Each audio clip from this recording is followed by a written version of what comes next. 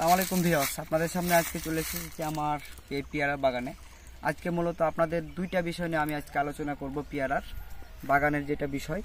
দেখতে পাচ্ছেন, আমি কিন্তু প্রথমত আপনাদের বলি যে বর্তমান যে সামনে সিজনটা আসতেছে, সেই সিজনটার জন্য আপনাদের প্রথমে কাটিং করতে হবে গাছ।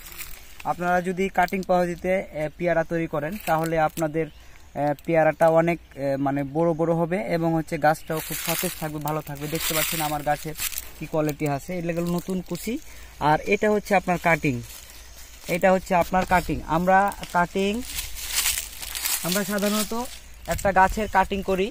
মনে করেন একটা, দুটা, তিনটা, চারটা চারটা পাতা রাখার পর দেখেন এভাবে আপনার এভাবে কাটিং করে দেবেন। তার মানে কি? একটা, দুটা, তিনটা, চারটা চারটা পাতা রাখবেন। এভাবে আপনারা গাছটাকে কাটিং করতে পারেন। আপনার, আমার কিন্তু কাটিং করা প্রায় হয়ে গেছে। যার ফলে আপনার এই আরও অর্ধেক মতো আছে কাটিং করতে। তো প্রিয় দর্শক, আপনারা যদি এভাবে কাটিংটা করেন, তাহলে আপনাদের পেয়ারাতে অনেক ফুল ফলও ভালো আসবে, ফুলও ভালো ধরবে, ফলও ভালো ধরবে। এক কথায় আপনি ভালো মানের একটা মানে আর্নিং করতে পারবেন। আর একটা বিষয় আপনাকে বলি, আপনি এখন কাটিং করার পর কি কি বীজ প্রয়োগ করবেন এবং এটা ওদিকে যাও। তো প্রিয় দর্শক, আমরা আপনাদের আর একটা কথা বলি যে আপনার যে কাটিং করার পর আপনারা কি কি ব্যবহার মানে বীজটা ব্যবহার করবেন, আপনাদের বীজটা আমি দেখিয়ে দিচ্ছি।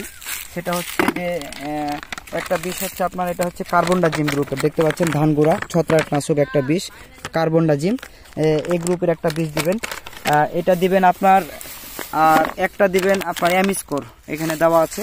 উঠো ওকে ওপরে উঠে দেখাও। এখানে দেওয়া আছে আপনার অ্যামিস্কোর। এই অ্যামিস্কোর এবং কার্বন ডাইজিং এই দুটো হচ্ছে আপনার ছত্রাকনাশক। এই দুটো দিলে যে আপনি কাটিং করেছেন, এই গাছটার কাটিং করেছেন, যে কাটিংয়ের যে একটা তার প্রক্রিয়া মানে একটা ইফেক্ট পড়বে, সেটা কিন্তু আপনার পড়বে না এবং নতুন কুশিগুলা আপনার গজাতে সাহায্য করবে। আরও ইউজ করা যায় আপনারা যে দেখতে পাচ্ছেন ফ্লোরা, এই সেই কোম্পানির মাল।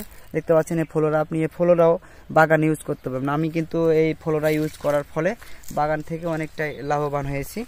আপনি সাথে চিলেটের জিং চিলেটের জিং দেখতে পাচ্ছেন। আপনি সাথে চিলেটের জিং দিতে পারেন। তারপর আপনি দিতে পারেন সাথে কীটনাশক দিতে পারেন। দেখতে পাচ্ছেন আমরা দিচ্ছি ওয়ান পয়েন্ট এইট যেটা হচ্ছে অ্যাবাভেক্টিন গ্রুপ অ্যাবাভেক্টিন গ্রুপ বুঝতে পারছ- এর হচ্ছে ওয়ান পয়েন্ট এইট ইসি সাথে দিচ্ছি আমরা ইমিডাক অ্যাম্পেয়ার ইমিডাক্লোরোপিড ইমিডাক্লোরোপিড গ্রুপের আহ, আহ, এই এই তো ছিল মূলত আমাদের এই বীজগুলো আমরা ব্যবহার করব। হুম? আর এই বীজগুলো দেওয়ার কারণ আমাদের এই বীজগুলো আমাদের দেওয়ার কারণ একটাই। প্রিয় দর্শক, এই বীজগুলো যদি আপনারা এখন বাগানে যেহেতু কাটিং করছেন এবং কাটিং করার ফলে কিন্তু একটা গাছের ইফেক্ট পড়ে এবং ইফেক্ট থেকে বাঁচার জন্য আপনার এই ধরনের বীজগুলো আপনারা ইউজ করবেন এবং আপনাদের তাহলে গাছে ফুল ফল এবং গাছের যে আপনার পাতার যে সবুজ সেই সবুজটা আপনাদের ফিরে নিয়ে আসবে গাছ গাছ, গাছ- আর আর ফুল ফল তো দেখতে পাচ্ছেন, ফুল ফলেরও ভালো হবে সেই ফলগুলো আপনার খুব ভালো মানের হবে এবং ফলগুলোও দেখা যাবে যে আপনার অনেক বড় বড় হয়েছে। কারণ নতুন ডাল কাটার পরে গাছটা কিন্তু আপনার নতুন হয়। এবং আপনি নিয়মিত বিশ দিন পর পর গাছে আপনার ইয়া প্রয়োগ করবেন। যাকে বলে বীজ প্রয়োগ করবেন। যার ফলে আপনার বাগানটা অনেকটা সতেজ থাকবে এবং ভালো থাকবে। তো প্রিয় দর্শক, আপনারা বলেছিলেন যে আমি বাগানে কি কি আমি বাগানে কি কি আপনার ফল ফল ধরানোর জন্য ব্যবহার করি। মূলত এগুলো দিলে আপনার এবং কাটিং করলে আপনার বাগানে ভালো মানের একটা মানে ফল ধরার আশা করা যায়। এবং আমি এগুলো ব্যবহার করেছি বিগত তিন বছর, এটা আমার চার বছর চলছে। আমি ভালো ফলন পাইছি ওই জন্য আপনাদের, যেহেতু আপনারা আমার ফলোয়ার এবং ফ্যান ফলোয়ার আপনারা, আপনাদের বাগান থাকতে পারে। এই জন্য মূলত আপনাদের সামনে এই ভিডিওটি নিয়ে আসছি। আমার কোনো অ্যাডভার্টাইজ করার জন্য না। আপনাদের মূলত শিক্ষা দেওয়ার জন্য। তো প্রিয় দর্শক, ভিডিওটি আপনাদের সামনে আর বেশিক্ষণ থাকলাম না। এই তো ছিল আজকের আমরা কীভাবে কাটিং করলাম এবং হচ্ছে আমরা কাটিং করার পর কি কি বীজ প্রয়োগ করলাম। এই তো ছিল প্রিয় দর্শক, ভিডিওটি ভালো লাগে থাকলে অবশ্যই একটা অন্যকে দেখার সুযোগ করে দেবেন, একটা কমেন্ট কিংবা শেয়ার অবশ্যই চাই এই ভিডিওতে।